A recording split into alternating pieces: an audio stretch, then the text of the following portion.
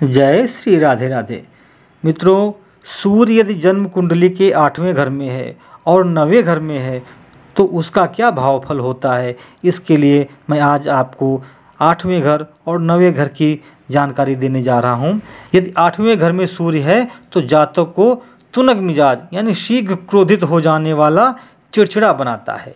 जातक धनवान तो होता है, परंतु अधीर व स्थूल बुद्धि वाला होता है। यदि सूर्य खष्टेश होकर अष्टमस्त है तो जातक न्यायप्रिय किंतु हिंसक व नेत्र विकारी होता है। यदि आठवां सूर्य स्वरास या उच्च का हो तो वो असावधानी से जातक की मृत्यु की संभावना भी बना देता है। प्रायः ऐसे जातक के पिता की मृत्यु जल्दी हो जाती है। यदि किसी शुभ योग से बचाव न होता हो तो ऐसा जातक एक तपस्वी राजा की भांति होता है।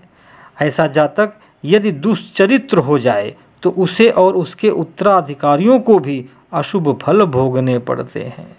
ऐसा जातक यदि अपने भाई बहनों या खून के संबंधियों का बुरा सोचे या उनके साथ बुरा करे तो परिणाम स्वयं जातक को बुरा भोगना पड़ता है। यदि वृश्चिक मकर कुंभ या तुला राशि का सूर्य आठवें घर में हो तो जातक लंबे रोग का भोगी होकर मरता है। पुरुष राशि का सूर्य हो तो दृष्टिमंद गुप्त रोग व संतान सुख अल्प रहता है।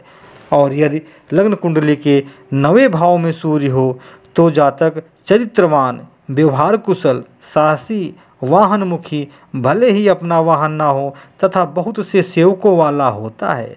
ऐसा जातक योगी, नेता या ज्योतिषी भी हो सकता है। परंतु अपने पिता के लिए जातक विशेष कष्टकारी होता है। जातक प्रायः दीर्घायु होता है, भाइयों से संतप्त रहता है। लाल किताब के अनुसार ऐसा जातक अपने खानदान के लिए अपना सब कुछ खर्च कर देता है और बदले में कोई आशा नहीं रखता।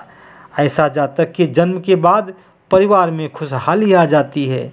इसके जन्म से पूर्व प्रायः परिवार बदहाल होता है। दूसरे शब्दों में कहे तो जातक का भाग अच्छा होता है।